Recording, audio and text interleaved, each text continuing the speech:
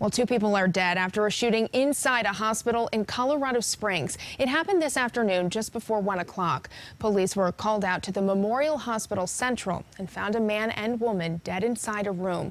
It's not clear which of them fired the shots or if either of them were patients at that hospital. Investigators are still trying to figure out what led up to the shootings, but say there is no danger to the public.